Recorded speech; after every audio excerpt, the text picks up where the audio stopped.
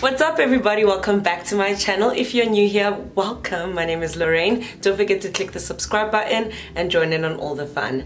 In today's video, I'm back with a makeup video. Now, I haven't done a makeup video in a minute just because especially on YouTube, they don't do so well. Like most of my makeup content doesn't do that well. So I kind of just focus that content onto my TikTok and Instagram. By the way, follow me on there. uh, but after one or two requests to do a tutorial on eyeliner and eyelash application, I was like, you know what? Let me get back into it. So today I'm just going to be doing my everyday go-to makeup and including a little bit of a tutorial when it comes to eyeliner and eyelash application. So if you want to check out what's happening in this video, stay tuned. So as you can see, I've already done my eyebrows. Uh, if you want an in-depth eyebrow tutorial, I will post it somewhere up here and you guys can check that out. So just to jump straight into it, when if you're a beginner and you're not really confident when it comes to you know your eye makeup I suggest that you start with it first instead of your base because then if you have any issues or have any errors you can just wipe them away instead of having your base and then having to wipe all of that away so that's tip number one since I already have my eyebrows done I'm gonna just jump straight into the eyeliner part of this tutorial uh, but before I get there I always put like a brown eyeshadow on my eyelids just to make it look a bit more natural and also obviously to diffuse the concealer I put underneath my eyebrows. It's like a brown shade like this, like a natural color, and I just like pretty much blend it into my eyelid.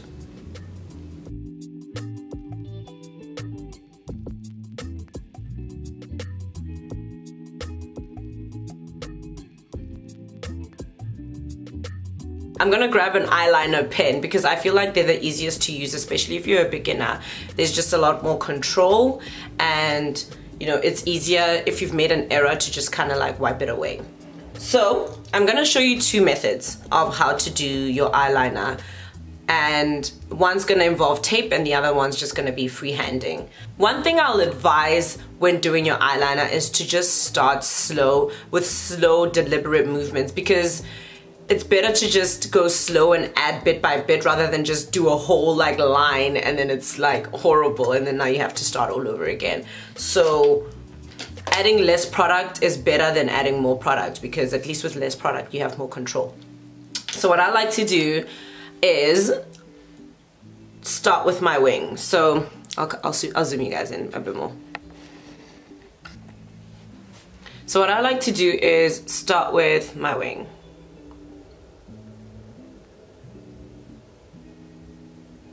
Pretty happy with that. Then I'll like draw a line uh, around my eyelid. Just like that.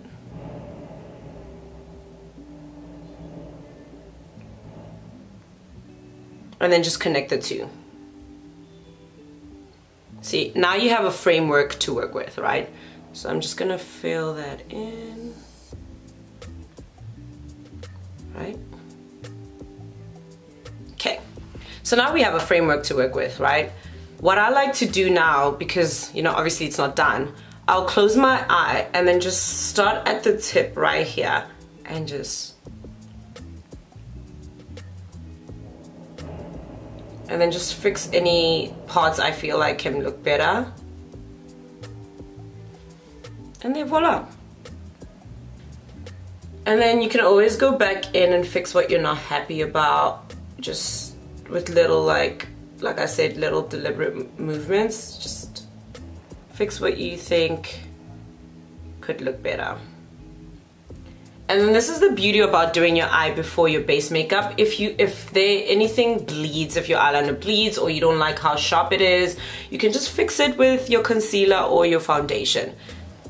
So that's the first way to do it now you're gonna grab some tape, scissors, and just cut out a piece of tape. All you need is a piece this big, and then I kind of just tap it on my, the back of my hand to just get it a little bit less sticky so it doesn't stick on your face.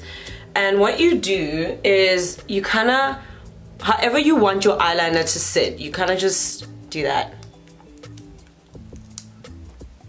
So something along those lines, right? Make sure it's solid. Then back in with the eyeliner pen. I'll zoom you guys back in again. Okay.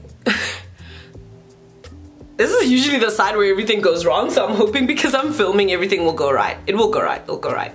Okay, so now that you've placed the tape where you want your eyeliner to sit, what you do is you start off by outlining your the shape of your eye right? Exactly like we did in the first step color it in if you want. You could do this at the end too but I just kind of like like seeing where I'm going with it. Okay so now that you've done that you have the shape of your eye right? Now because you have this tape it's easier for you to get that sharp eyeliner cat eye look right? And also less likely for you to make a mistake so what you do is kind of just go over the plastic, or I mean the tape rather, and just start drawing.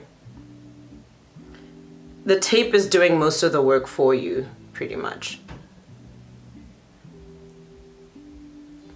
Now, because this is a tutorial, these might not look exactly the same because I'm using two different methods, but I just wanted you guys to have two options uh, when it comes to doing your eyeliner. If this one didn't work for you, maybe this one would be better suited. So that's what we're looking like, right?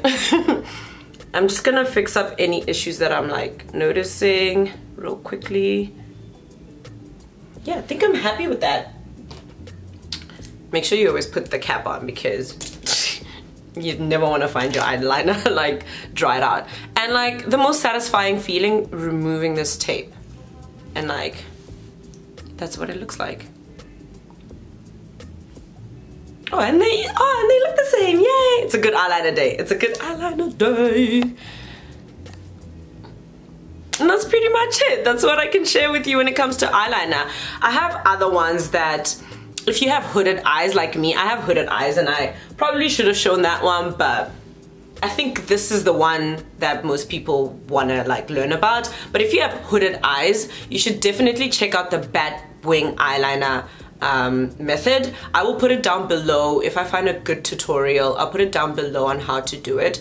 That's the eyeliner part done. So now usually I put on my eyelashes at the end of my makeup, but for the purpose of this video, I will do it right now, just so you know, you guys don't have to wait for the whole entire video before you get the, the tips. So what I do is just I get some mascara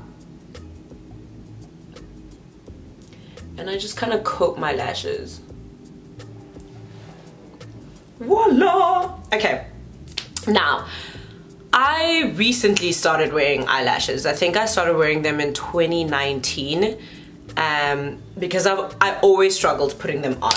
My main struggle is because my lashes are incredibly curly, like they curl into each other to the point where even when I get the individual individual lash extensions professionally done, like they are stumped because it takes them longer to do me than it would the average client because of how curly they are. So now you can imagine how difficult it is to put on strip lashes because they curl into each other. And as you know with strip lashes, you need to put it on top of the lash and blend it in. So that's been like my major, major struggle. But I saw a tutorial by Vongai Vongai and I'll put her channel down below as well so you can check her out. She's amazing, South African YouTuber and that tutorial helped me out a lot with my curly lashes. So what she suggested you do is you take a mirror, it can be any mirror, this is my makeup mirror, but you take it and you put it underneath.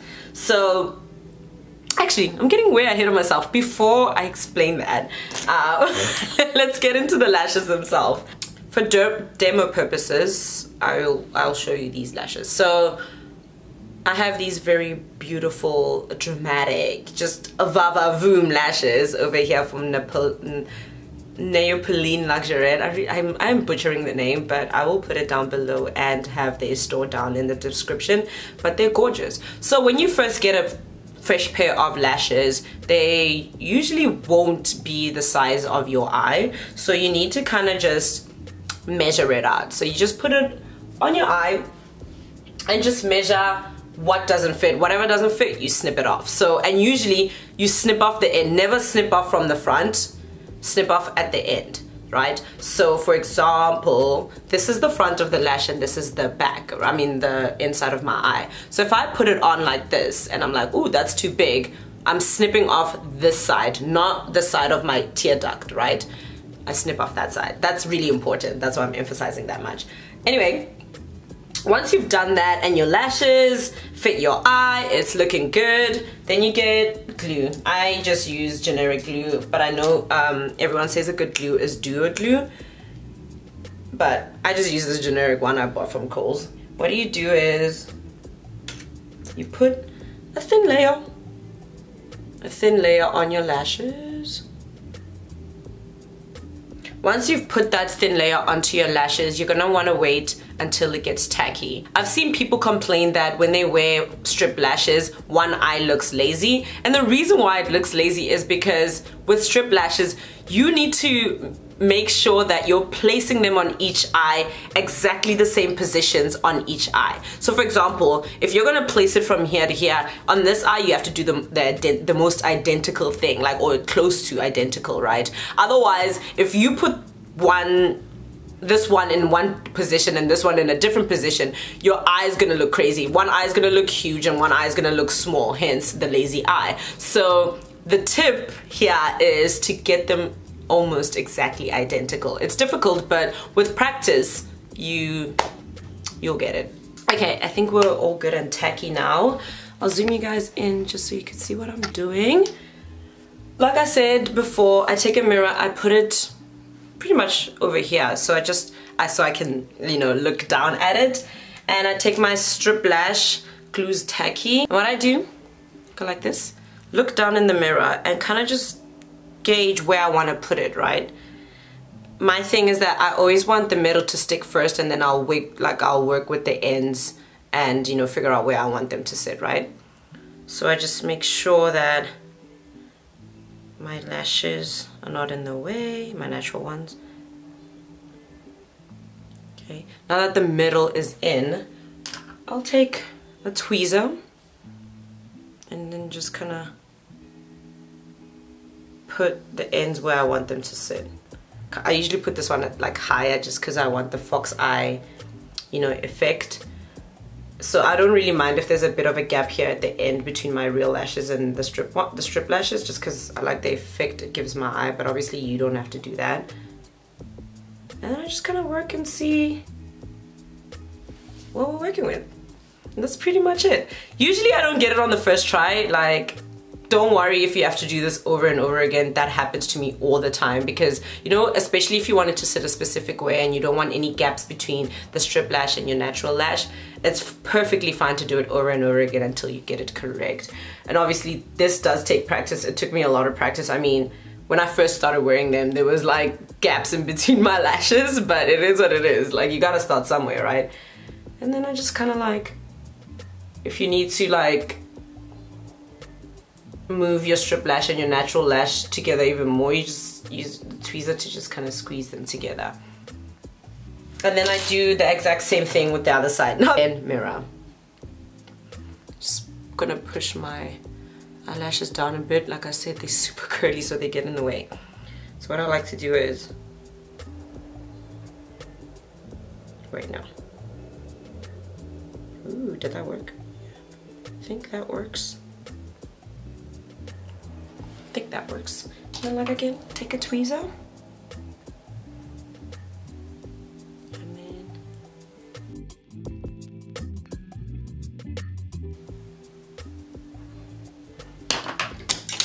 And and strip lashes done. It looks weird because I don't have the rest of my makeup on, but I'm happy with the way it turned out. Like. now I'm just gonna jump into the rest of my makeup. I'm going to use the L'Oreal True Match Super Blendable Foundation. I usually use this when I'm shooting content because I like the way it looks on camera. I use the shade Deep Cool and obviously I'm running out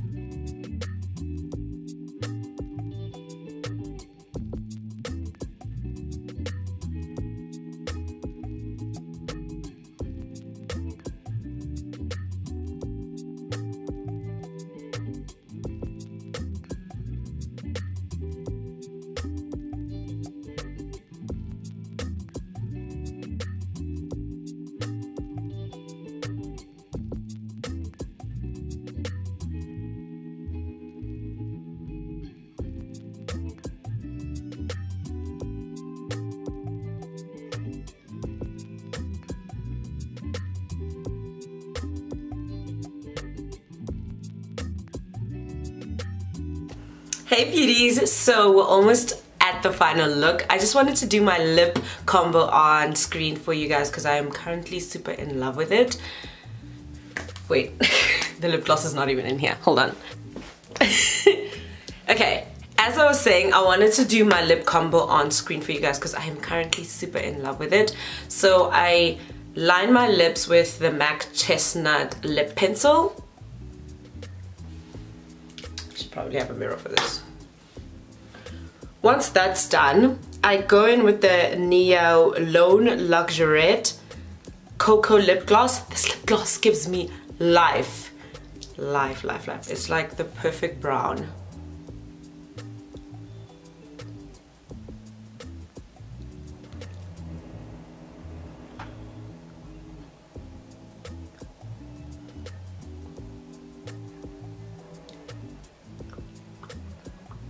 And it smells delicious. Sometimes I have to remind myself to stop applying because that's enough.